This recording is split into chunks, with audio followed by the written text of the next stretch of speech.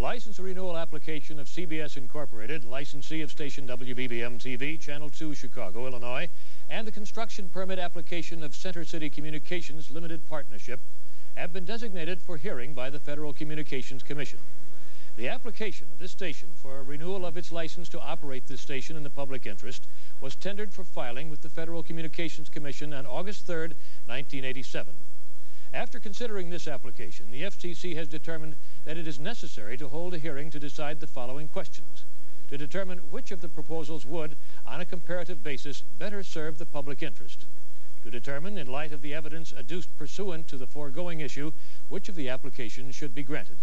The hearing will be held at the offices of the Federal Communications Commission, 1919 M Street, Northwest, Washington, D.C., commencing at 10 a.m. on June 2, 1988. Members of the public who desire to give evidence concerning the foregoing issues should write to the Federal Communications Commission, Washington, D.C. 20554, not later than March 30th, 1988. Letters should set forth in detail the specific facts concerning which the writer wishes to give evidence.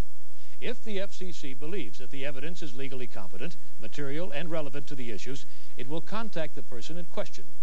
A copy of WBBM TV's application, all amendments, and related material are on file for public inspection at the station at 630 North McClurg Court, Chicago, Illinois, 60611.